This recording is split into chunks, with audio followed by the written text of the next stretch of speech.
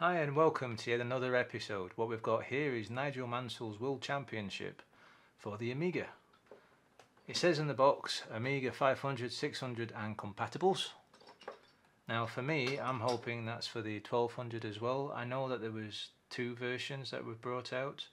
There was the 500 stroke 600 version and then there was a 1200 version and even in fact if I remember correctly one of the many packs that they did for the 1200 actually had Nigel Mansell on it, and I think it was um, Trolls on the other game that they gave away at the time. That well, they say gave away, but you know what I mean. It was in box.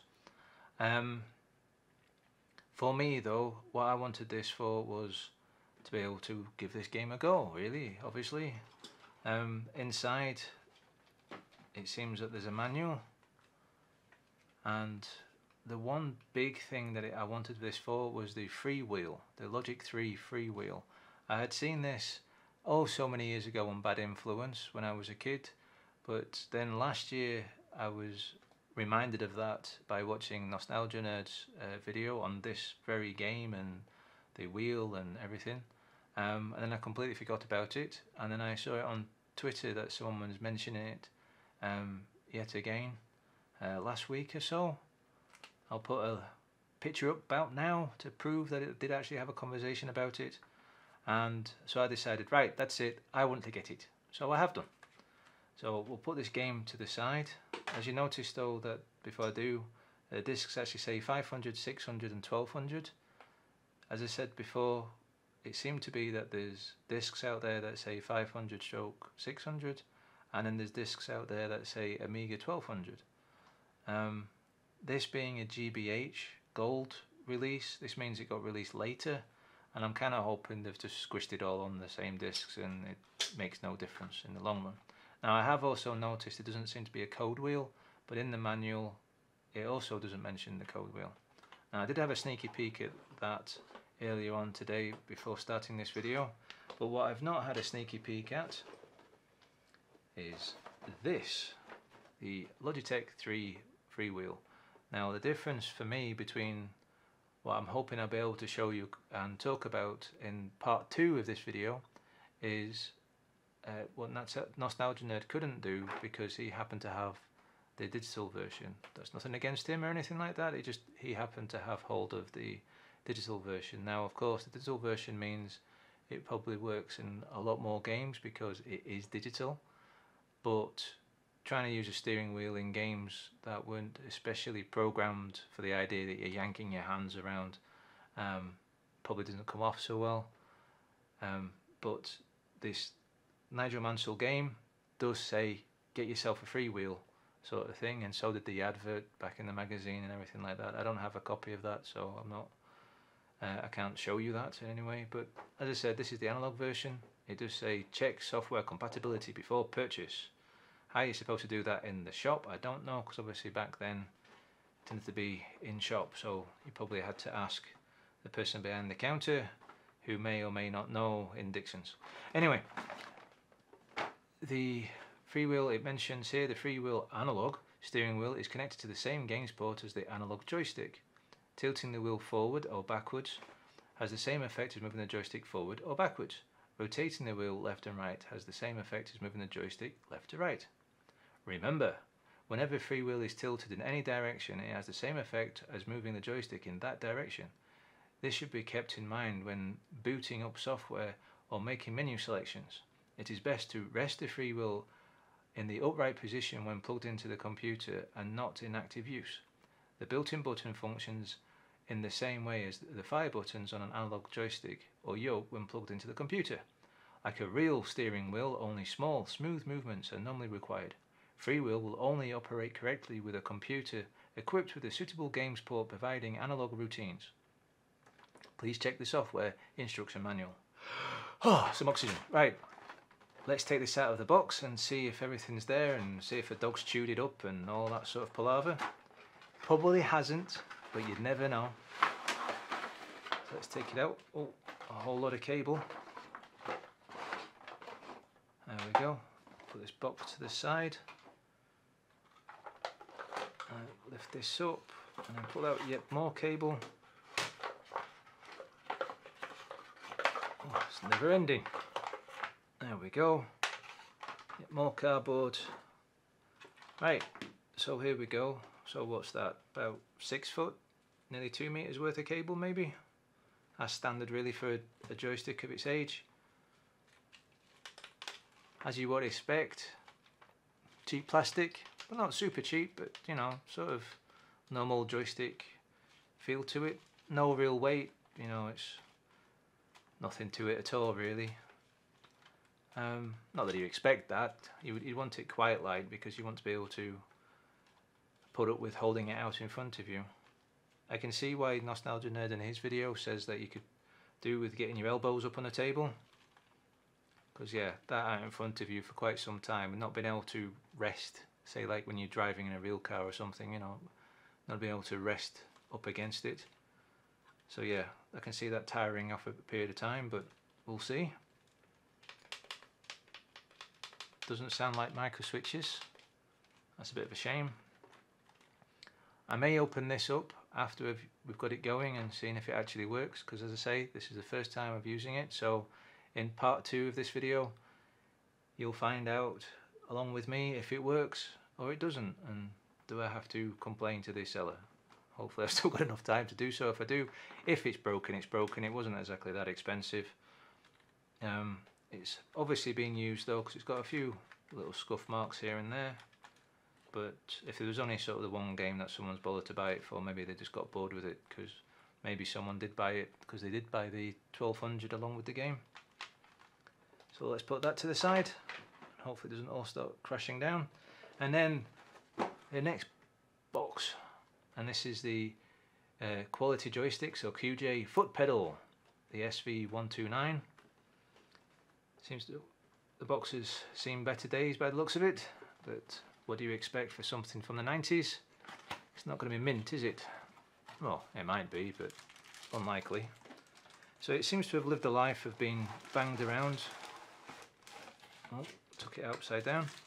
Actually says up here in the box here, 15th of September 1992. I'm assuming that's when they slapped it inside a cardboard box.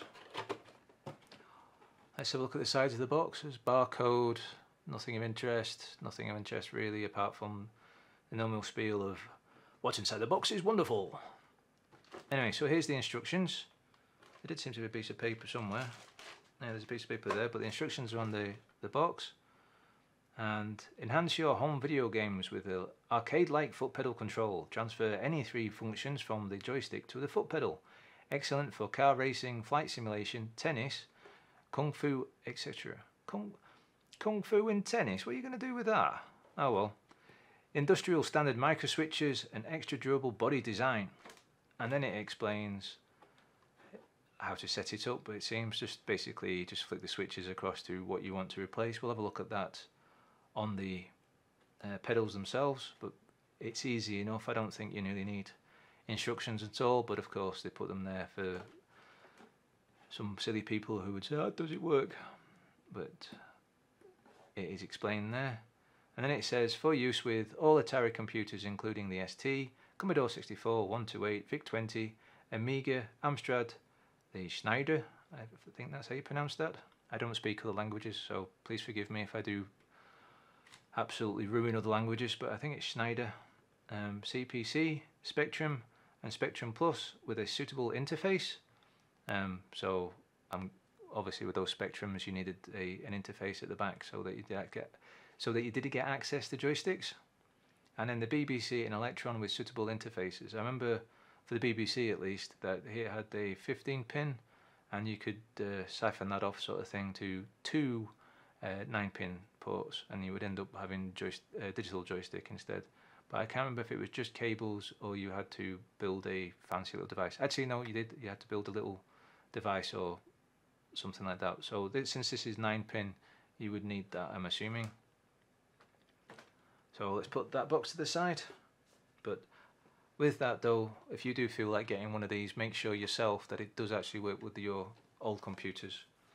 Because don't take my word for it, because I haven't looked at all the information up. Because all I was interested in, does it work with the Amiga? And it does, because it was all part of this Nigel Mansell type thing. Let's get Nigel Mansell discs out of the way. take it out of this plastic bag, rustle, rustle, rustle. A bit of cardboard's fallen off. I'm assuming that was protecting that bit. Again, let's get that out of the way. Let's have a look at this bit of paper before we look at the pedals. I'm assuming it's the instructions. Yes, it is, and it's instructions in two of the languages by the looks of it. Which ones, I'm not 100% sure. Maybe for the people out there that know more languages than I do. But as I said, it's sort of, it doesn't really matter. If you know how to uh, set an Amiga up in the first place, I'm sure you can figure these switches out. Or any computer up really. Let's have a look here. These flap out.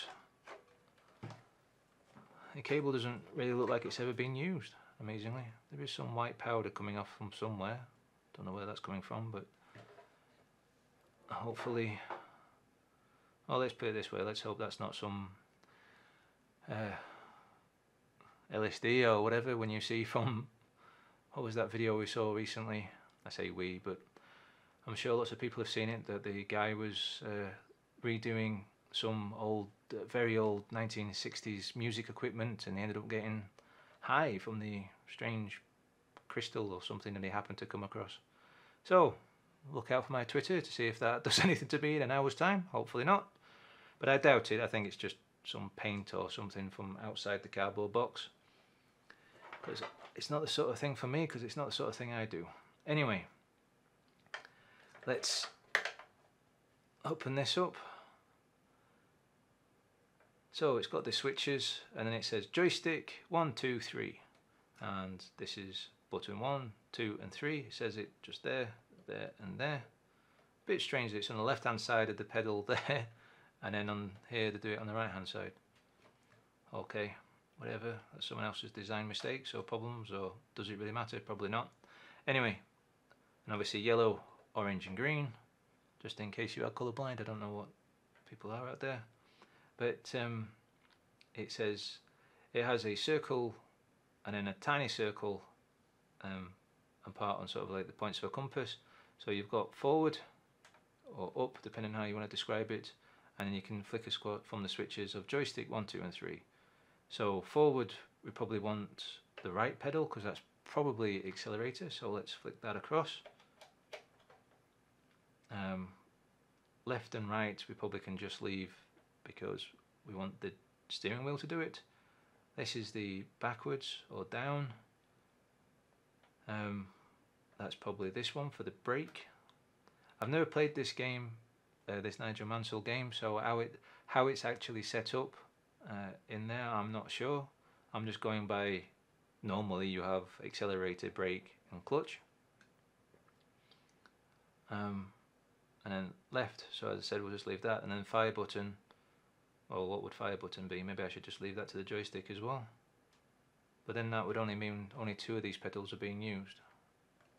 Um, well let's set that to one just in case one is to change gear or something like that. Maybe it's not going to get used as clutch but maybe it should be change gear.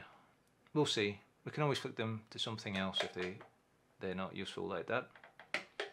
So, I'm excited to get this going. Obviously what I need to do is set the Amiga up in this nice little bit here and put this on the floor and have the steering wheel going and everything. Now, oh, my phone went there. So, what we've got is an input and output. So that goes off to the Amiga or whichever joystick, uh, joystick, whichever keyboard, but obviously for me it's going to be the Amiga and then what I want to do is put the steering wheel into this. So even though this is digital hopefully what it does is just pass the signals on through and I can still use analog. Either that it'll have to be that um, hopefully the game allows me to have uh, this in one of the joystick ports and the analog in the other port so that I get to use both of them at the same time. Now what I would like to do is give a shout out to um, Electron Ash for being uh, my latest patron. I forgot what the word was there. Yeah, he's my latest uh, patron. That's very nice of him. And if anyone else would like to sign up, that would be great as well because every little penny helps. Um, obviously, if I'm buying things like this and whatever. Um, one thing I have done though is buy this. This is uh, the money that I got recently off of uh, Patreon, or at least I will be getting from Patreon. It still takes a while before it actually goes into my account because it has to be, I think there's a minimum amount before you can actually take any out, but on the prospect that I'll be getting money from the Patreon I bought this, and this will allow me to do this. Zoom backwards and forwards on my camera. It makes life a lot easier for me because at the moment the camera is actually quite high up and touching it makes it all bounce around.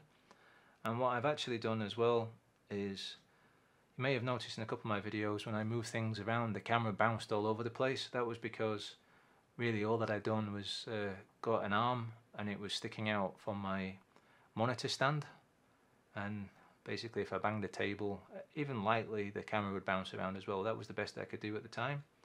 Um, I've actually sorted that out now I believe. I've got a uh, some contraption stuck up on the walls now so that I can get this because I'm actually currently facing uh, a wall that I'm not going to put shelving on or anything like that because there's no point because I have monitors in the way so what I want to do is have what I have set up. I'm pointing as if you can see, I keep getting confused like that, but it should be now when I bang the table, the camera doesn't bounce around. So that's being fixed, and that's being fixed on the advent that hopefully the patrons will carry on sending money over the next couple of months, so they're helping out already. Already, um, if they don't, then that's their personal choice, and there's no anger or distrust from me if they decide to go away again but I really would like it if people could help me out by backing me with patrons so that I can carry on improving these videos and bringing content to you. I also would like to thank the sudden rush of subscribers that I got um, in the past week or so. That was a little bit of help from Electron Ash as well. Um, suddenly, I basically doubled uh, the followers that I have, or the the, scripts, the subscriptions that I have. Um, I will be, for the new people, I will be doing um, some more soldering and things. Um, I'm no expert at it, uh, but I will be taking things to bits and uh, soldering wires up and everything like that to get things to do what I want to do for the setup that I personally want to have.